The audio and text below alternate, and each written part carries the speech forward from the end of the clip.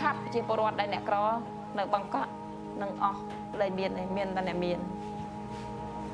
គាត់ថាគេមិនចង់ឲ្យយើងមករស់នៅអីញ៉ៃញ៉ៃចឹងជាមួយនឹងតំបន់គេអភិវឌ្ឍទីក្រុងគុជរបស់គេ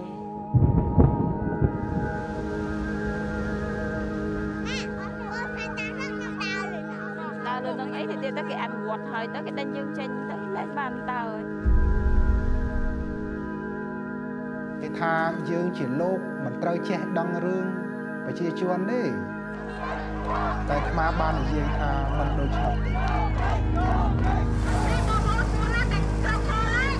រងចាំទៅថ្ងៃគេមកឈប់ចោលទៅក៏រងចាំថ្ងៃណា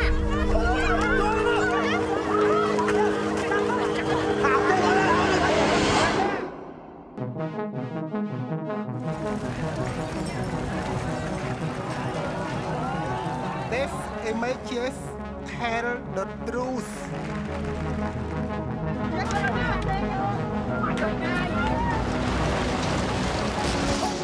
យកផ្ទះហើយអត់មានមួយមួយអត់ចង់កម្រើកទៀត